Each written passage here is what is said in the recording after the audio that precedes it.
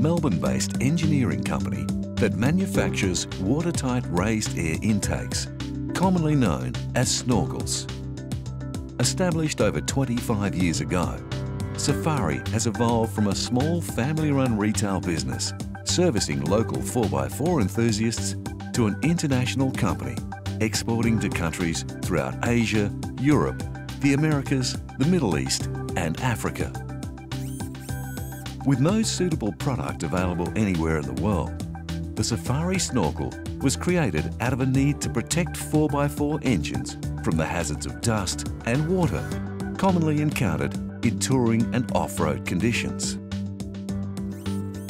Safari's signature lies in the quality and durability of its components, the attention to detail in every system, and the absolute standard that product performance must always be reliably achieved.